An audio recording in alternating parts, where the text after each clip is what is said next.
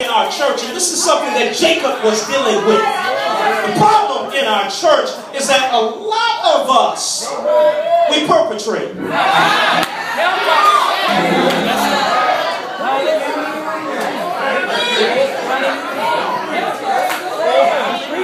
A lot of us act like we're saved. And we've been acting like we're, we've been saved for so long that it has become a part of us. And I'm here to tell you that if you do something for a long period of time, if you do something for a long period of time, I'm here to tell you that it will become second nature to you. You will sing when you feel like singing. You will preach. Come on, come on, somebody. You will preach when you feel like preaching. Go ahead. You will dance when you feel like dancing. You will run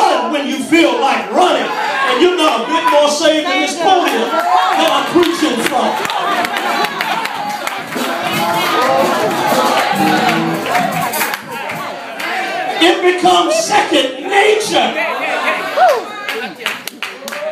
But the problem with Jacob is that Jacob had been doing some messed up stuff for so long.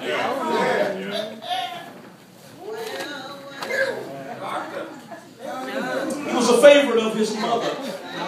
So his mother made sure that he was taken care of. Because the Bible says that he went to his father at the unction of his mother. And the Bible says that he tried to fool his father because his father had gotten old and his father didn't see well and his father didn't know which son it really was. And Jacob took the blessing from his brother.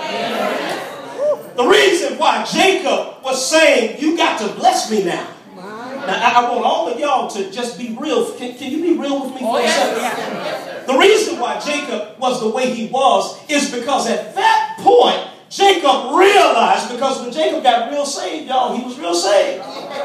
You see, the problem was is that he sent some she asses ahead as a gift to his brother. There was no internet back then. There was no Twitter account. There was no Facebook. And so he didn't hear back from his brother.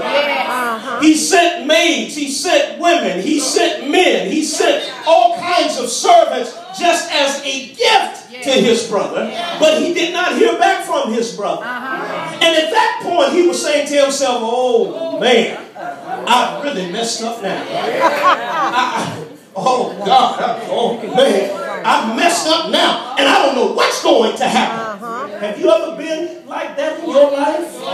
Have you ever been in a situation in your life when you don't know what's going to happen? You don't know what's going to come your way.